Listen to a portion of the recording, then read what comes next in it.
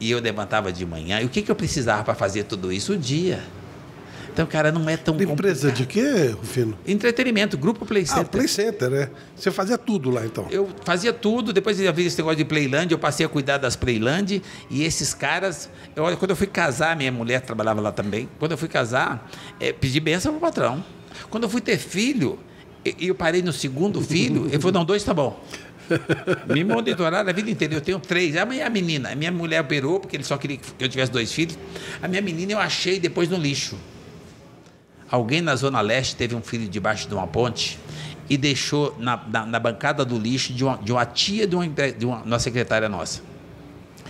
Ela contou a história, eu me fiquei solidário, né? me solidarizei com a história e pedi para minha mulher ir lá ajudar.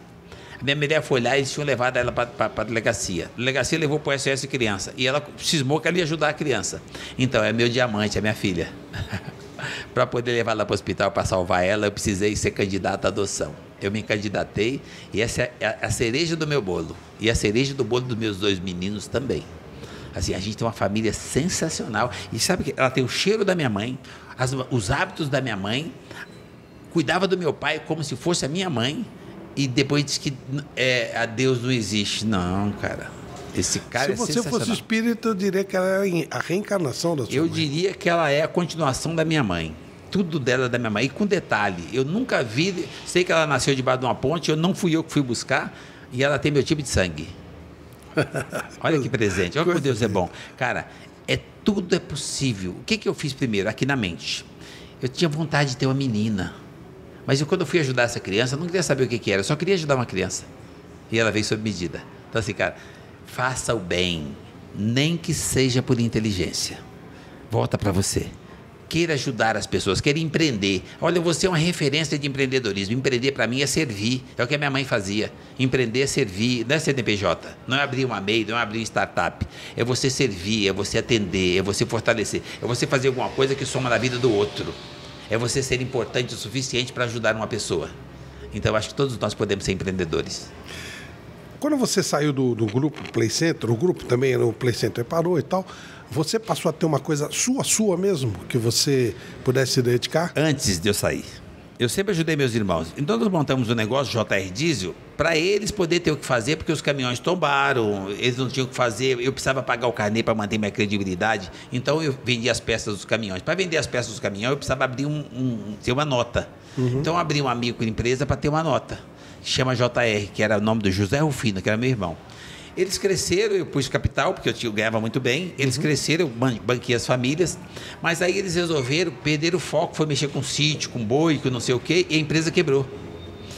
Eu já estava no Play Center. Então, eu, eu- aí quando a empresa quebrou, estava no meu nome. Então, eu comecei a fazer os dois trabalhos para eu não sujar o nome. Quando eu aprendi e consegui limpar o nome da empresa e deixar tudo em ordem, tinha cinco pessoas trabalhando. Três parentes e dois não. Para essas pessoas não ficarem sem o emprego, eu mantive a empresa aberta e meu emprego. E eu fazia as duas coisas, 16 horas por dia. E aí, eu só saí quando essa coisa, que era manter a empresa, começou a ficar tão bom quanto o meu trabalho. E eu entendi que se eu for agora, então, eu consigo fortalecer aquilo. Aí, eu, aí olha que interessante, aí eu tinha um problema para resolver. Quase 20 anos de empresa, eu fui do meu patrão, falei assim, fui do meu gerente, meu, meu diretor, né? Eu também era diretor, mas tinha um diretor acima de mim. Falei assim, eu queria ir embora e tal. Ô, Geraldinho, você tem um negócio, eu queria tocar meu negócio e tal. Mas, olha, é muito tempo de casa, é complicado te mandar embora. Eu falei, não, não, não, só quero que o senhor me autorize, eu peço a conta. Eu pedi a conta e fui embora. E fui embora de boa. Meus patrões estavam viajando.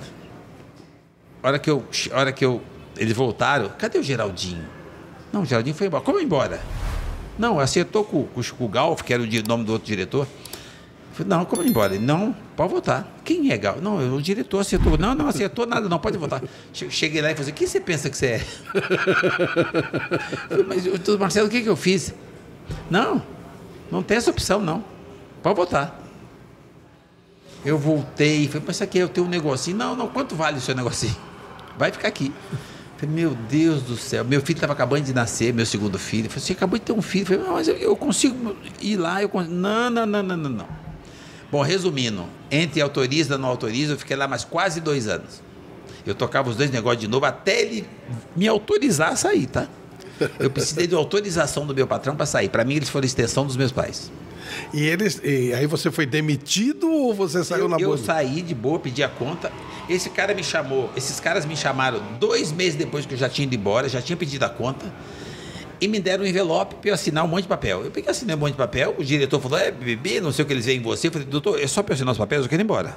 Já tudo cheio de graxa, já tudo a roupa suja, que eu já estava trabalhando com peça. Eu falei, não, então só se eu assinar, então pode ir embora. Eu peguei, assinei, falei assim, mas você não vai ler? Eu falei, não, eu só vou assinar. Assinei, porque eu estou com pressa. Tá bom. Aí me o envelope, eu levei o envelope embora. Olha, levei o envelope embora, cheguei lá, pus uma gavetinha quebrada, que a minha mesa era calçada com tijolo, e larguei lá. A minha mulher falou, você, o que, que, que, que você foi fazer? Ela foi assinar os negócios. Aí me deram um envelope que eu nem li, deve ser a cópia. Ela falou assim, ah, não, deixei ela numa gaveta da empresa, não tinha chave nem nada. Ficou um dia, dois, três, quatro. No final de semana, eu sempre fui trabalhar. Aí, esse dia eu fui com ela, falei assim, cadê o envelope que você falou que, que te deram? Eu falei, ah, deve ter alguma gaveta aí. Mas como assim? Ah, depois eu vejo. Eu que eu fui achar o envelope, o envelope está aqui. Ela falou, você não quer nem abrir o envelope?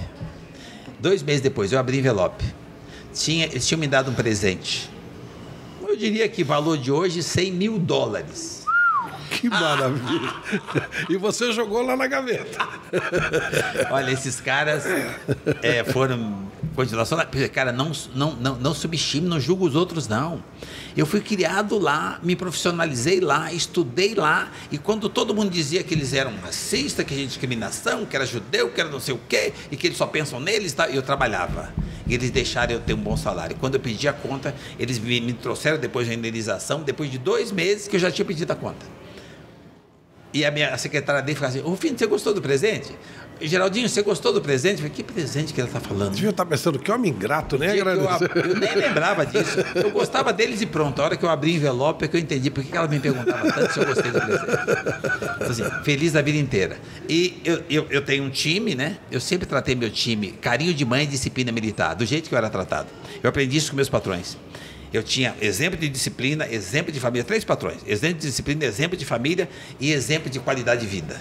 Ele, cada um tinha um perfil. Eu copiei os perfis deles. E eu continuo praticando o que eu aprendi com eles até hoje. E essa, esses 100 mil dólares fizeram diferença no, no, no avanço do seu negócio? Eu já tinha vendido a casa, o sítio, eu estava pagando aluguel, eu acreditava no meu negócio. Então aquilo veio só para somar, eu já tinha achado o caminho.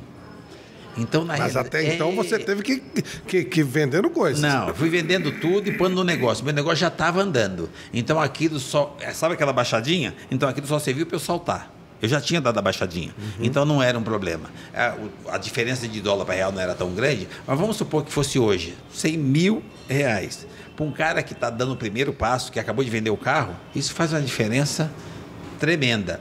É, e isso me ajudou muito a impulsionar o que eu já estava, mas eu iria de qualquer maneira. Uhum. O que, que isso ajudou? É porque eu tinha vendido casa, eu consegui comprar um terreno e, e pôr um dinheirinho na empresa para eu fazer uma casa. Isso aconteceu. Cara, eu só evoluí, tá?